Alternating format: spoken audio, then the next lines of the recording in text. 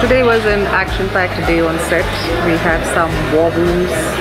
We need, I think, a couple of scans and x-rays. but it's always fun when you're firing bullets.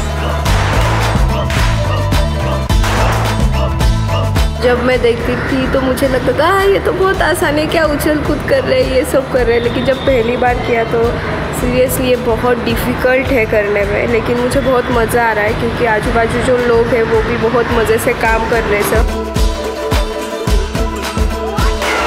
Had a great time. I think all of us did uh, far more than we bargained for. Good day.